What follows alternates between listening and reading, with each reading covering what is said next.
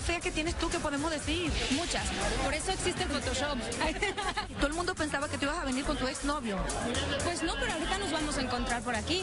¿Cómo están las cosas? Bien, yo lo quiero muchísimo, mucho, mucho, mucho. ¿Planes de reconciliación?